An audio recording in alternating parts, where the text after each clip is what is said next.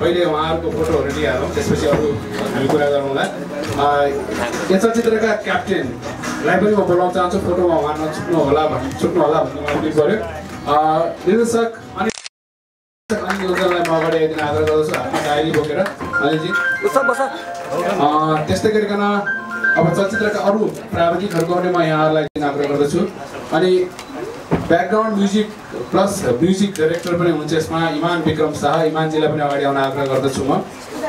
प्रमुख अतिथि हुनुहुन्छ विशेष गरी पत्रकारलाई प्रमुख अतिथि बनाउने चलन बढ्दैछ मेरो पनि पालो आउँछ र अब हामी वीरेन्द्र हमाललाई। मलाई लाग्छ एउटा फुलले उहाँलाई पनि स्वागत गर्नुपर्छ जस्तो लाग्छ खादा लगाइदिएर। किन वीरेन्द्र दाईले नै यो कन्सेप्ट पुऱ्याउनु भएको जुन अगाडि यहाँले एउटा प्ले टाइपको एउटा एक्टिङ देख्नुभयो सुटिङको। त्यो सबै उहाँकै देन हो कुनै बेलामा जुन हमालको मात्र चर्चा हुन्थ्यो देशमा एउटा राज समाजको एउटा वीरेन्द्र हमालको र वीरेन्द्र दाई पनि धेरै छाया पछाडि रहनु भएको छ नाट्यकर्म गरिराख्नु भएको छ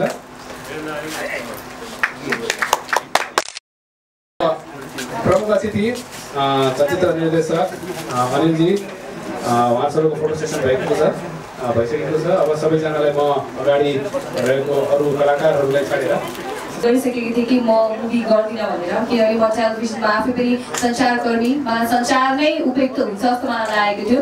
तर पछि आएर मैले के रियलाइज गरेँ भने सञ्चार अनि चलचित्र भनेको चाहिँ एक अर्काको परिपूरक हो जस्तो मैले फिल गरेँ। अनि पछि मैले क्रमशः एकदमै त्यही अनुसारको वातावरणहरू पाउँदै गएँ।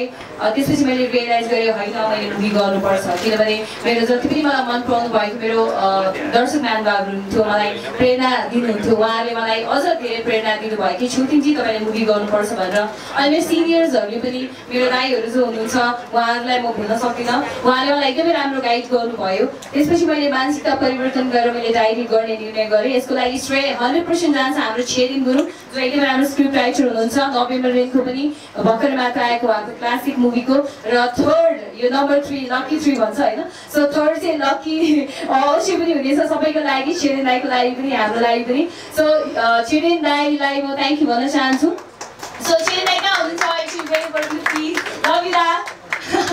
एकदमै उहाँले नै मलाई इन्करेज गर्नुभएको छु तिमी डल्लै तैँले नोभेम्बर रेनपछि चाहिँ अरू मुभी गर्नैपर्छ भनेर त्यसपछि हाम्रो यो दुई वर्षको मेहनतपछि आज हामी फाइनली डायरीको प्रेस मिटमा छौँ र निर्माण गर्ने कुरा चाहिँ कसरी भयो भने वाइ नट भोलि सधैँ नायिका भएर गर्न सकिँदैन। सो प्रोडक्सन डिरेक्सन पछि पनि लाग्नुपर्छ। त्यसको राम्रो कुराको सुरुवात किन आजदेखि नगर्ने त भनेर त्यसको सुरुवात मात्रै गरेको मैले। हेर्दै जाउँ।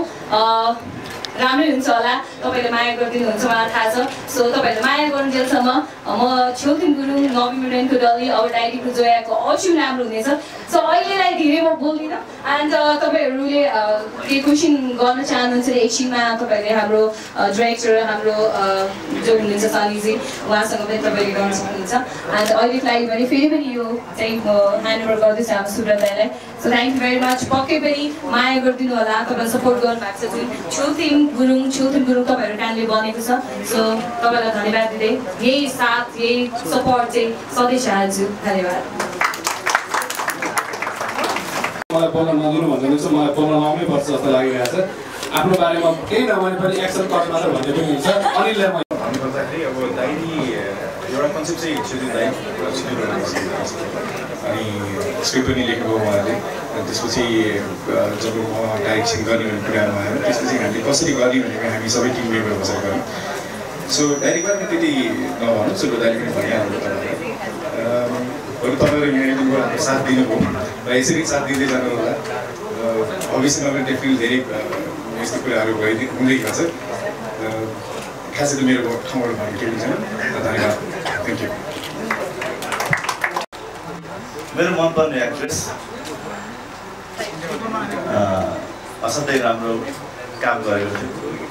नयाँ मनोज पनि सायद यही छ। मलाई गाउने मान्छे पनि यही हो। म त्यसको जस थिएँ।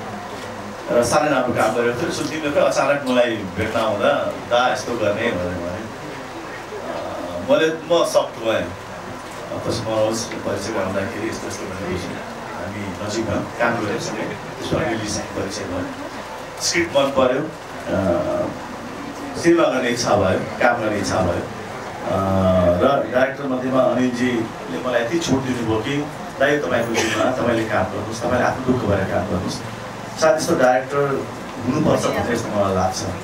अँ, हाम्रो राइटरज्यूले पनि दाइ तपाईँ कति सजिलो हुन्छ काम गर्दाखेरि तपाईँ सजिलो भएर काम गर्नुहोस् अँ, आनन्द आयो। त्यस्तै सनी एउटा राम्रो एउटा एक्टर एउटा प्यासन एउटा राम्रो एक्टर मैले देखेको थिइनँ यस्तो एक्टर। मैले उसको मको अगाडि पनि भनेको होइन तपाईँको अगाडि भनेको पनि होइन। मैले वर्षौँदेखि टिच गरिरहेको हो। यहाँ कतिपय यस्ता मेरो विद्यार्थीहरू पनि छन् जो आज थिएटरमा काम पनि गरिरहेको छ विवेक राजन मेरो स्टुडेन्ट। र त्यसमध्येको म अहिलेको सबभन्दा जुनियर स्टुडेन्ट भनेको सनी र असाध्यै राम्रो काम गरेको छ जस्तै कुशल त्यसपछि राजु मलाई लाग्छ यो सिनेमा राम्रो हुनेछ। डायरीको विषयमा भन्नुपर्दा त्यो डायरीभित्र आफ्नो इमोसन्सहरू कस्तो लेख्छ मान्छेले एउटा इमोसन छ त्योभित्र आफ्नो मन परेको कुराहरू लेख्छ। बस त्यसैको शब्दहरू बाहिर आउने मात्रै हो। एउटा इमोसन छ त्यसभित्र। त्योभित्र तपाईँले सिनेमा गएपछि तपाईँले थाहा पाउनुहुन्छ। काम गर्दाखेरि धेरै इम्प्रोभाइजहरू गरियो धेरै काठसाडहरू पनि गरियो। धेरै राम्रो कामहरू गरियो। महिनौदेखि काम गरियो। हरेक दिन हामी इम्प्रोभाइज गर्थ्यौँ हरेक दिन हामी काम गर्थ्यौँ जसरी हामी काम गरेका छौँ अँ, मलाई लाग्छ यो डायरी पनि सफल हुनेछ यहाँहरूले मन पराइदिनु हुनेछ। यति भन्दै। सम्पूर्ण तपाईँहरूलाई पत्रकारज्यूहरूलाई धेरै धन्यवाद। यसरी तपाईँहरू आइदिनु भयो र विशेष गरेर डायरीको टिम त्यसपछि मेरो बहिनी सुदेव मेरो हिरो अनि मेरो अर्को सबभन्दा सुपर हिरो अनिलजी र सम्पूर्ण विद्यार्थीलाई धेरै धेरै धन्यवाद दिन चाहन्छु। Thank you very much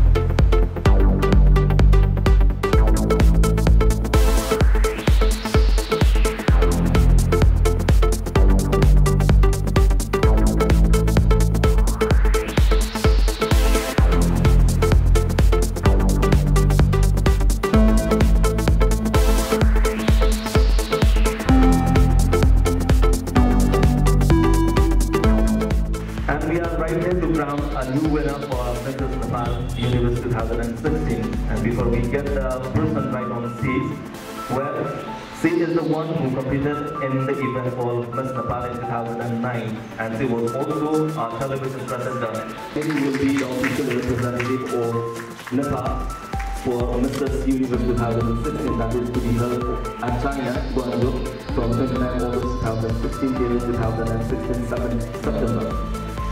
Now maybe request Mrs. Deepa Sari, the winner for Mrs. Nepal Universe 2014, to crown Mrs. Potpuria as Mrs. Nepal Universe 2016. Likewise, to start off, may have Lakshmi Duladas, runners-up of 2014.